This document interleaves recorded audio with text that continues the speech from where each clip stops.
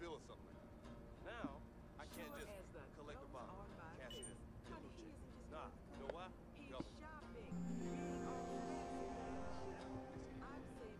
Great job.